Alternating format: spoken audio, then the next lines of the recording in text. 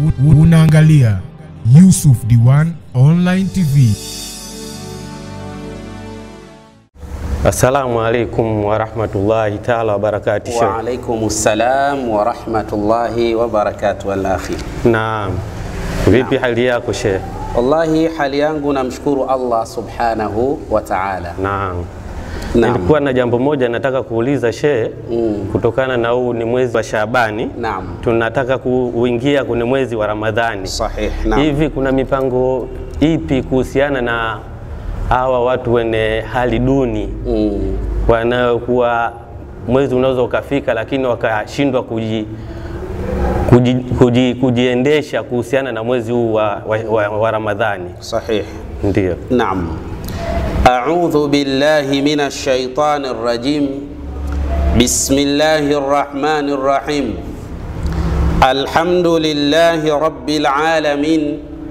ثم الصلاة والسلام على خير الأنبياء والمرسلين وعلى آله وصحابته أجمعين. أما بعد baada ya kumshukuru Allah subhanahu wa ta'ala na kuzihitaji ziada ya rehma na amani zimshukie kiongozi wa umma Bwana Mtume Muhammadin Mustafa sallallahu alayhi wasallam, mtume ambaye Allah subhanahu wa ta'ala anasema kupitia ndani ya kitabu kitukufu cha Qur'ani, anasema wama arsalnaka illa rahmatan lilalamin.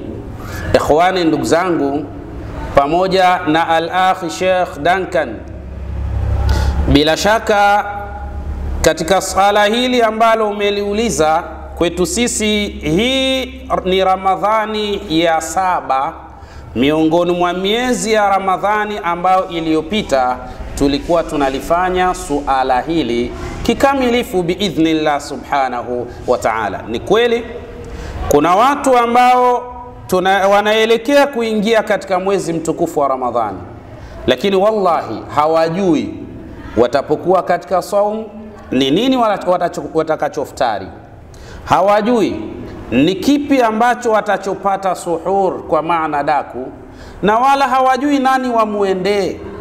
Kwa mazingira kama haya, wakawa watu wengi sana miongoni mwa hawa wanaohitajia, kwa kuwa sisi ni watu, tuna makundi ya watu wengi sana wengine wanatupigia simu, wengine wanatufata kabisa katika ofisi yetu, na akituambia shekhe, dhamana yangu mimi katika mwezi huu mtukufu wa Ramadhani ipo kwako, nijue nitafutari nini, nijue nitakula daku vipi, nijue watoto wangu siku ile ya, ya Idul Fitri watavaa nini biidhnillah subhanahu wa ta'ala. Basi na sisi kwa kuwa ni kioo cha jamii tumeyapokea hayo na tumeyakubali na mara kadhaa tumekuwa tukiwatangazia wadau wetu, na alhamdulillah wamekuwa ni watu ambao wasiotuangusha katika sala kama hili. Ndiyo. Kuna mambo kadhaa al-akh Sheikh Dankani pamoja na ndugu yangu ambaye anatufuatilia biidhnillah subhanahu wa ta'ala, mimi nataka nitoe kama darsa fupi hivi katika suala hili biidhnillah, na naamini makubwa yatakwenda kupatikana kwa hurma na utukufu wake Allah subhanahu wa ta'ala. Baada ya kuwa tayari tumeanza katika vipindi vya kulitangaza suala hili na tumeandaa dua nne maalum kwa wale ambao watakaotoa sadaka zao, tukazikusanya zile sadaka, tukanunua mahitaji yanayohitajika ili Ramadhani mosi twende tukawapatie wale wahusika biidhnillah subhanahu wataala. Tumeandaa kila wiki miongoni mwa wiki zinazopatikana ndani ya mwezi huu wa Shaaban tutakuwa na dua maalum ya kumwomba Allah subhanahu wa ta'ala kwa kila aliyeguswa akatoa sehemu ya sadaka yake, basi Allah subhanahu wa ta'ala amfanyie wepesi katika majambo yake, na tunaamini katika e, dua hizi nne Allah subhanahu wa ta'ala atatujalia kabuli na ijaba, na watu watafanikiwa biidhnillah subhanahu wa ta'ala. Katika hili kuna matunda kadhaa. Kwa mfano, mtu ameguswa vizuri katika sala hili, moyo wake ukawa unatetemeka baada ya kulisikia hili, na akaona nina wajibu wa kuwasaidia watu hawa, basi sisi tunamfahamisha. Tulieleza katika kipindi kilichopita ya kwamba kuna matunda yanayopatikana katika hilo. Ndiyo. Tunda la kwanza, mtu anapotoa sadaka katika sehemu ya mali yake, Ndiyo. Allah atamnusuru kutokana na wasiwasi za sheitani. Allah ajalie kila la kheri. Nawe ambaye bila shaka una matatizo ambayo yamesadikiwa yanatokana na mashaitani, basi hii ndiyo dawa madhubuti. Toa sadaka yako, tukusanye sadaka yako, tununue vinavyohitajika, ili mwezi mosi tukawaone wahusika na tuwapatie biidhnillah subhanahu wa taala. Bila shaka nina imani iliyo thabiti kwa kila ambaye tumeshiriki naye, mambo yake yatakwenda kuwa mazuri biidhnillah subhanahu wa taala. Sasa miongoni mwa matunda tathiru lmali wannafsi wa tahqiqi nnamai waziyadati fi lmal. Miongoni mwa hayo tunasema tathiru lmali, yani mtu anapoguswa na hili la kuwasaidia wenzake, lakini kadhalika ikakita katika moyo wake akatoa sehemu ya mali yake, basi hili ni katika sala ambalo linaisafisha ile mali yake biidhnillah subhanahu wa ta'ala. Yani kama mtu alikuwa na mali, basi Mwenyezi Mungu huisafisha mali ya mtu huyo kwa ile sadaka anayoitoa kwa ajili ya kuwasaidia watu duni wasiojiweza biidhnillah subhanahu wa ta'ala. Ndiyo. Lakini kama hilo alitosh wa tahqiqi nama na kwa kile ambacho wewe umekitoa biidhnillah subhanahu wa ta'ala, hii itaifanya mali ya mtu huyu iendelee kudumu, kwa maana hasara kwake mtu huyu itampitia mbali kabisa biidhnillah. Yani wewe ukiwa na tabia panapoelezwa jambo unaguswa, lakini kadhalika nawe unatoa sadaka yako biidhnillah subhanahu wa ta'ala, suala hili litapelekea tahqiqi nama, yani kuifanya ile sadaka ile mali yako kuwa ni yenye kudumu kwa muda mrefu biidhnillah subhanahu wa ta'ala, bila kupata eh, hasara kwa hurma na utukufu wake Allah subhanahu wa ta'ala. Sasa wewe ambaye una mali, wewe ambaye una biashara lakini wewe ambaye una kazi na unatamani kazi yako idumu katika hali ya nema za aina kadha, tunakwambia shiriki nasi, toa kilicho chako kupitia katika mali yako biidhnillah, tukusanye kwa pamoja ili tuweze tukanunue mahitaji mbalimbali, tuwafikie wale ambao biidhnillah subhanahu wa ta'ala wenye kuhitajia. Allah ataifanya kazi yako kudumu, Allah ataifanya kazi yako kuwa na neema nyingi kwa hurma na utukufu wake Allah subhanahu wa ta'ala.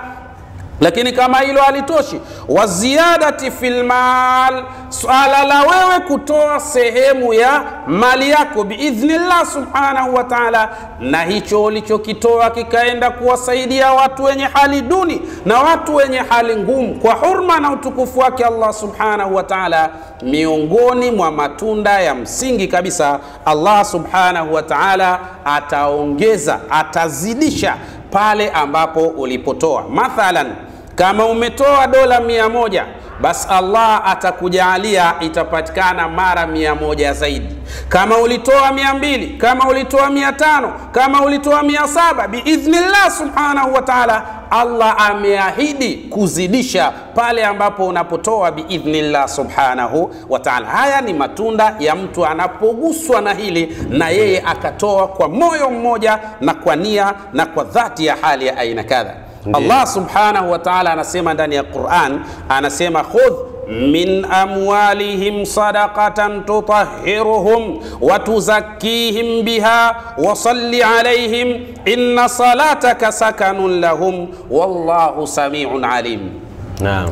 Allah subhanahu wa ta'ala anamwambia Bwana Mtume Muhammad, Sallallahu alaihi wasallam. na hii ni amru yani ni maanake ni khitabu lfardi, kwa maana ni khitabu inayokwenda kwa Bwana Mtume Muhammad, kasduhu lumum, lakini makasidi yake haiishii kwa mtume tu, bali inakwenda pia kwa wafuasi wa Bwana Mtume Muhammad. Sallallahu alaihi wasallam. Mtume eh, Mwenyezi Mungu anamwambia Bwana Mtume Muhammad, khudh min amwalihim sadaqatan, chukua ewe Bwana Mtume Muhammad kutoka katika mali za wauminio waliomuamini Allah subhanahu wa ta'ala. Chukua nini? Sadaqa. Ukisikia sadaqatan, sadaqatan, yake sadaka za aina mbalimbali mbali. chukua kutoka kwao. Nini matunda ya wewe mtume kuchukua sadaka kutoka kwa waaminio? Allah anasema tutahiruhum hiyo sadaka itawataharisha, itawasafisha. Ndiyo. Yani watakuwa ni watu wenye imani thabiti, watakuwa ni watu wenye kumwamini Allah subhanahu wa ta'ala, lakini kadhalika watuzakihim, na sadaka hiyo itawazaki, itafanya nafsi zao kuamini na itafanya nafsi zao kutakasika mbele ya Allah subhanahu wa ta'ala. Wasalli alaihim, na Allah anamwambia Bwana Mtume baada ya kuwa tayari umechukua sadaka kutoka kwao, wasalli alaihim. Hii inaitwa wao harfu latfi litartibi maa taaqubi yani ni harfu latfi ambayo inaonyesha baada ya kuchukua ile sadaka kutoka katika mali zao, Ndiyo. basi kitendo kinachofuatia ni wewe kuwaombea dua biidhnillah subhanahu wa ta'ala. Allah anasema wasalli alaihim, na uwaombee dua, inna salataka sakanun lahum, hakika kule kuwaombea dua Allah atajalia utulivu wa mali zao, Ndiyo. Allah atajalia ziada katika mali zao, Ndiyo. Allah atajalia kheri na baraka katika mali zao. Ndiyo. Allah subhanahu wa ta'ala amesema katika hali ya namna hiyo, wallahu samiun alim, na Mwenyezi Mungu ni msikivu sana Ndiyo. na ni mjuzi sana kwa hurma na utukufu wake Allah subhanahu wa ta'ala. Lakini haya sio ya Allah tu, pia Ndiyo. hata Mtume sallallahu alaihi wasallam naye pia amesema, kama akhraja al-Imamu Muslimun, kama jinsi ambavyo alivyoeleza Imamu Muslim fi sahihihi, katika sahihi yake, kwa maana sahihi ya Muslim Ndi. anasema an Abi Hurairata radhiyallahu anhu, kutoka kwa Abu Huraira, radhi za Allah subhanahu wa ta'ala zimfikie. Anna nabiya sallallahu alayhi wasallama anasema ya kwamba bwana mtume sallallahu alayhi wasallama qal, mtume amesema hivi ma naqasat sadaqatu min malin wama zada Allahu abdan biafwin illa izzan wama tawadaa ahadun lillahi illa rafa'ahu Allah. Anasema bwana mtume ma naqasat sadaqatu min mali. Hako yani sadaka mtu anapoitoa basi bila shaka afahamu haiwezi kupunguza katika mali ya mtoaji wa hiyo sadaka hakuna kinachopungua biidhnillah subhanahu wa ta'ala. Bali allah hujaalia kheri wama zada llahu abdan biafwin illa izzan. Na wala mja Be Mwenyezi Mungu Subhanahu wa Ta'ala hamzidishi mja ambaye anayeyafanya yale anayoyataka Allah illa izzan, isipokuwa Allah humjaalia huyo mja biafwin illa izzan, humjaalia msamaha na kumfanya mja huyo kuwa ni katika watu bora kabisa. Kwa hiyo wewe ambaye unataka kuwa ni mtu bora, shiriki nasi katika kheri hii. Dola mia moja kitu gani bwana? Wapo watu ambao wametoa mpaka dola mia, eh, dola mia saba wengine wametoa dola mpaka alfu saba kwa ajili ya jambo hili. Nawe ukiguswa na sala hili, bila shaka changia katika utaratibu huu, tukusanye kitachopatikana, tununue mahitaji, basi biidhnillah subhanahu wa ta'ala, mnamo Ramadhani mosi tuweze kuwafikia wale wahitaji. Biidhnillah subhanahu wa ta'ala, na mambo yaweze kwenda katika hali iliyokuwa sawasawa. Biidhnillah subhanahu wa ta'ala. Lakini akasema wama tawadaa ahadun lillahi illa rafa'ahu Allah, na kuna yoyote ambaye atakayenyenyekea kwa Allah na kuyafata yale anayoyataka Allah subhanahu wa ta'ala, isipokuwa Allah humpandisha daraja, Allah humpandisha cheo. Wewe ambaye unataka cheo, wewe ambaye unataka daraja, wewe ambaye unataka mafanikio, hii ndiyo fursa mujarrab biidhnillah, Allah atajalia kila la kheri. Haya ni miongoni mwa matunda ya mtu ambaye atakayetoa sadaka biidhnillah subhanahu wa ta'ala. Kwa hiyo wito wangu, natoa wito eh, kwa ndugu zangu ambao mmekuwa mkitufuatilia mara kwa mara.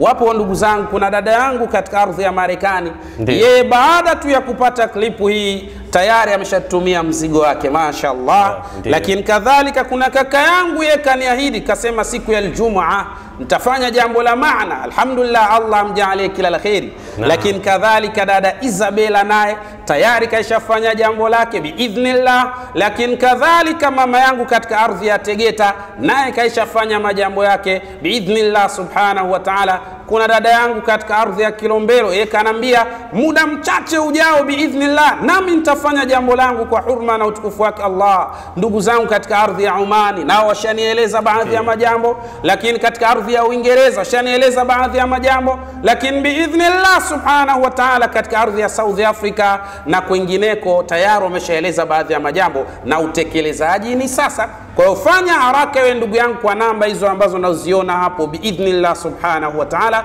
Allah atajalia kila la kheri. Jambo ambalo nataka nikufahamishe tu namba e, e, e, namba yangu ile ya, ya Voda kidogo ina shida katika upande wa WhatsApp, kwa maana ile namba ya 0756634277 hii ina shida kidogo katika, katika upande wa WhatsApp. Kwa hiyo ukihitaji mawasiliano nami biidhnillah kwa njia ya WhatsApp tumia namba hii 0712 31 6222 hiyo ndio ipo WhatsApp, tunaweza kuwasiliana wakati wowote biidhnillah subhanahu wa ta'ala. Guswa na hili na Allah subhanahu wa ta'ala, naye ataguswa na jambo lako. Allah atakuponya, Allah atakunusuru, Allah atakujalia kheri, Allah atakufanyia sahali katika kila penye uzito, maadamu nawe ni mwepesi katika kuyafanya yale ya waja wake biidhnillah subhanahu wa ta'ala. Yupo dada yangu pia katika ardhi ya Marekani, sitaki kumtaja jina, nikisema hivi mwenyewe anajijua kwa sababu ni kipenzi changu. Allah ajalie kila la kheri, naye huwa si mvivu katika kuiendea kheri kwa hurma na utukufu wake Allah subhanahu wa ta'ala. Niwaombe tu ndugu zangu ambao wanatufuatilia, ukiipata klipu hii ichukue na wewe wapelekee wengine, huenda wewe ukawa umejulisha kheri, na inshallah biidhnillah subhanahu wa ta'ala, kwa wewe kuijulisha kheri hii kwa wengine, basi huenda na wao wakafanya makubwa, nawe ukawa umeshiriki katika kuifanya kheri hii, na Allah atajalia kila la kheri kwa hurma na utukufu wake Allah subhanahu wa ta'ala. Insha Allah, assalamu alaikum wa rahmatullahi wa barakatuh. Unaangalia Yusuf Diwan Online TV.